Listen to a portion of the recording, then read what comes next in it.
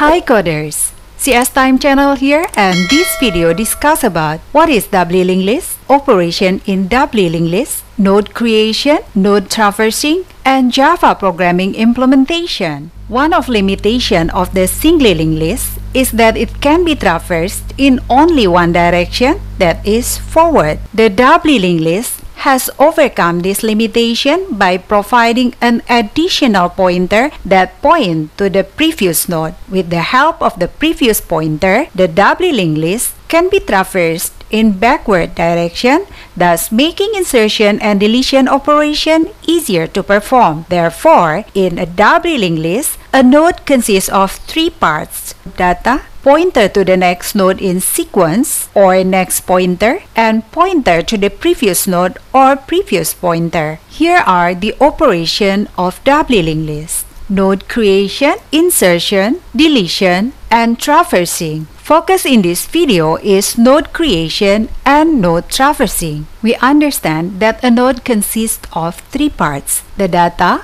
and then a pointer to the next node and a pointer to the previous node. To do it in a programming, you will have to declare this node in a class I call as list node like this. Then I will declare the data as character here and I will declare the next pointer as list node which is its class and then the previous node as a list node and I will also need a pointer that point to this node. In this case I use head and then I declare the head that I also declare it using the list node. Let's see the Java implementation. Here I have a class named doubly linked list. I will create a class list node that I will declare it as private and then I will declare the node. As we saw in the visualization just now that my node consists of data that I declare it as character and then I have next pointer that I declare it as the list node and I also have previous pointer that I declare it as list node.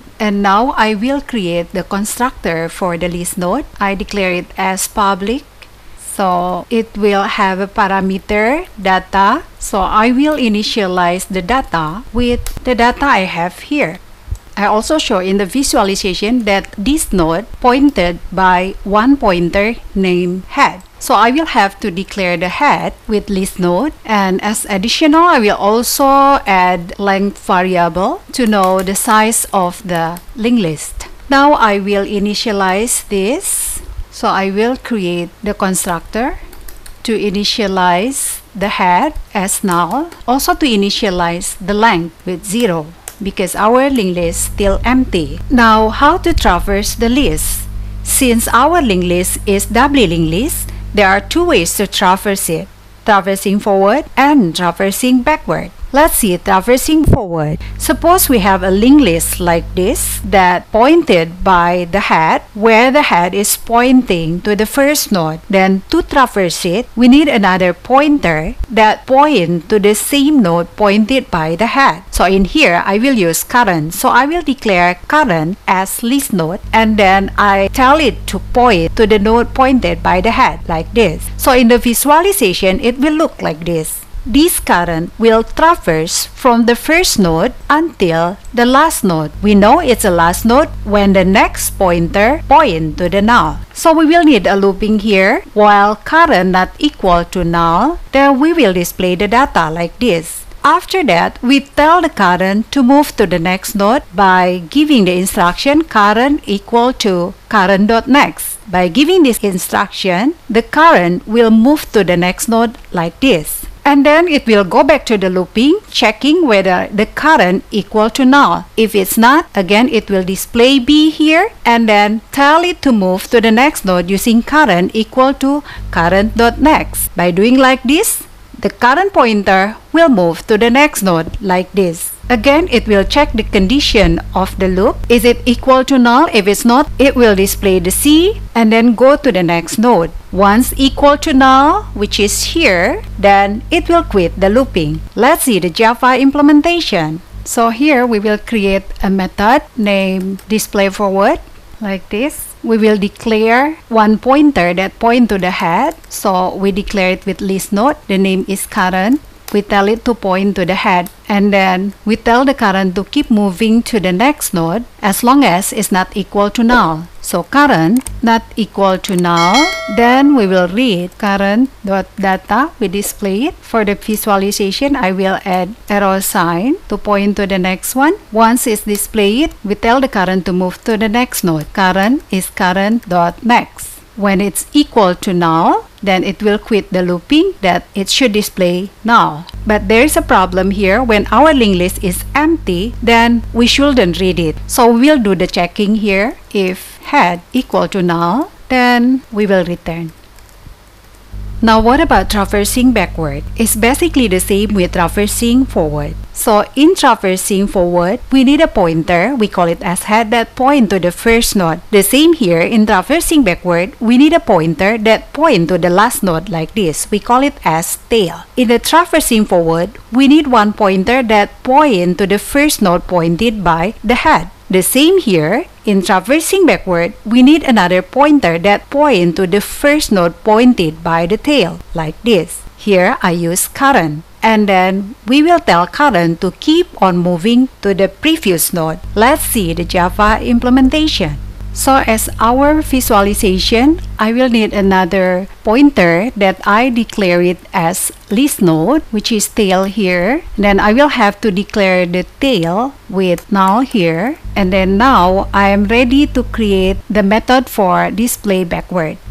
Since basically the function is the same, then I will just copy from here paste it here. And then I will change the head to tail like that. And then we assign the current. Instead of to the head we assign it to the tail like that. And then we tell it to keep on moving until it find null. As long as it's not find null then we display the data along with the arrow. And then we tell it to move to the previous like that and then once it's quit the looping then we will display the null. So let's see one more time all complete uh, program up to now so at first I will need to create a node.